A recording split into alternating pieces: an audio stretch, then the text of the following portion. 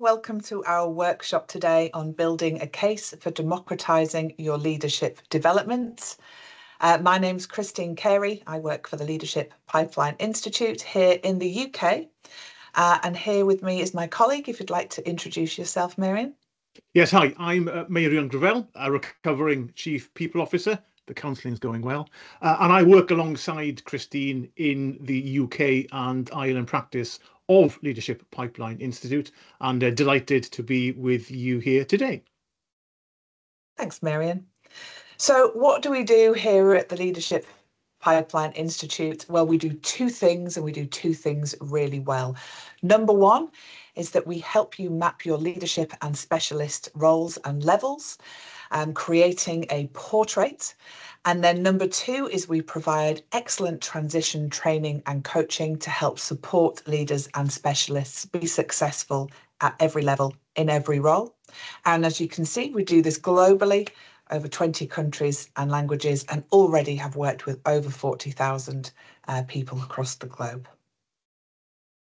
And we've been basing our impact on, on research across two areas. Uh, initially, our foundational research, um, which happened around 20 years ago. Secondly, and crucially, we've been applying that research over the last 20 years in terms of everyday leadership and specialist experience. And often we start a conversation with clients by asking three key questions. So I'm going to suggest that you pause the video now and have a reflect on those three questions to see to what extent you believe you can define what leadership is, what are the barriers to leadership, and what are we doing today within companies as and also as an industry. Well, welcome back uh, to this um, presentation, and I hope you had some quality me time. Uh, certainly I did. So the answer to question one from our applied and foundational research is that leadership adds value in a completely unique way at every single role. So the role of leading others adds value in a completely different and unique way to the way that leaders of leaders adds value. Similarly, leading a function adds value in a completely unique, different way. So each leadership role is different and it starts with transparency.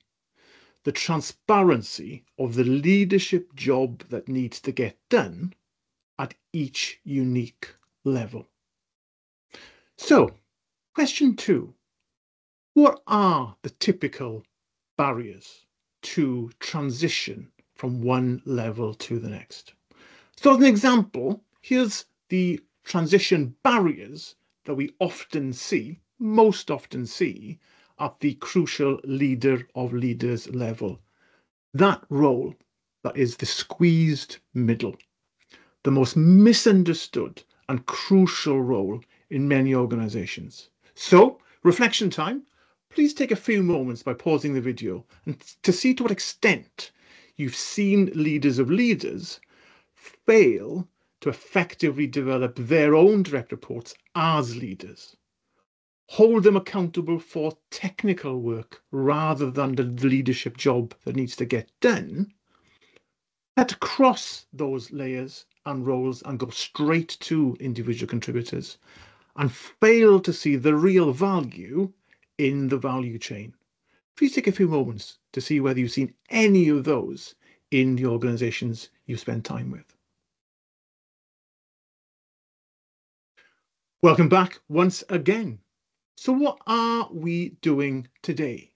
What are companies, organizations, what is our industry doing in terms of unblocking those barriers, really getting effective value add leadership? We're spending an enormous amount of time on skills and skills development. We're doing our very best to select the right leaders in the right way for the role that they need to deploy.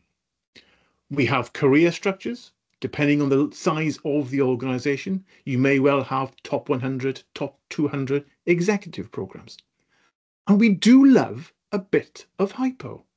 Those crucial identified individuals that have got that something special that we would invest in more than others to get that biggest return on investment. And strategy. We're always trying to do something making a link between strategy and leadership, leadership and strategy. What our research suggests, though, is that is not enough. Skills is sufficient, but not enough. Is it really efficient? Is it really sufficient? No. What is more important than skills is how we spend our time. What is even more important than time is how we believe we add value. So only when we as leaders has made the transition, changed our mindsets into how we uniquely add value. How do we believe we add value? Only then will we use and deploy time differently. And only then will we deploy and refine our skills accordingly. When we know what the leadership job that needs to be done is at each unique level, then that transparency makes selection far more fact-based and observable. All of those elements of transition and transparency really brings our structures to life. Finally, all our leaders need to be developed all of the time. It is not to replace high potentials, but it is to supplement it. So how do you make your organization a talent factory? How do you get a culture of leadership-led development? How can all our leaders be developed all of the time? And on the crucial question of strategy, strategy without execution is just a bunch of good ideas. And there's lots of good ideas out there. How do you explicitly make it clear which roles in leadership are driven to design, translate, and crucially execute strategy and hold other leaders accountable for strategy execution. So those are the key elements from our 20 years worth of applied research based on our foundation, foundational research ahead of that. Christine. Thanks, Meirion. Thank you. So I'm going to follow in a very similar and familiar way as Meirion just has to talk about your specialists. And once again, we'll start with these first three questions. What is a specialist to you? What are the barriers to successfully managing the specialists? And what do you already do today to manage your specialists? Take a few minutes, reflect, and we'll see you back here in a moment. Welcome back. Hope you're enjoying this repeated me time that we keep giving you. So again, very similar to what you'll have seen with Meirion. You'll see a theme coming here um, from our foundational and complementary architecture that you can see there, just a different colour to what you saw before. We have also found from our research that there are different layers and jobs to get done and outputs at different roles for specialists. And we call those a knowledge expert, a knowledge leader, and a knowledge principal. Once again, what value do they add at each unique layer? Thank you, Meirion. To go a little bit more in depth with a specialist, with the leadership, it's very clear. Each leadership role is defined on who or what they are leading. With a specialist, it's slightly more in depth. So we're looking at knowledge. They manage knowledge how much knowledge they have in their depth, but also their breadth of knowledge as well, which I'll dive into a little bit more in a few moments. We're looking at how what level of results orientation they are responsible for. Is it operational? Is it strategic? We're looking at what kind of communication they are responsible for. Is it within their teams?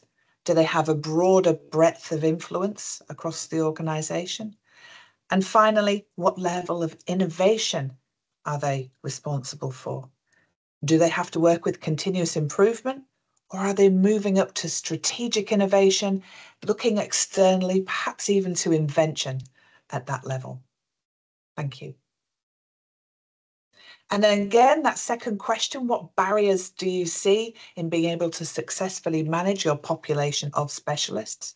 And again, we've taken one example layer here of the knowledge leader with five typical transition issues that we have found through our research around how they keep the customer in mind, how they manage stakeholders and work across the value chain, uh, whether they are recognised within the organisation for their own area of expertise, and how they contribute to the development of that domain of expertise within the organisation. So again, take a few moments, see if any of these seem familiar within your population of specialists in your organisation. Welcome back again. So again, we'll go to this third and final question about what you currently do today.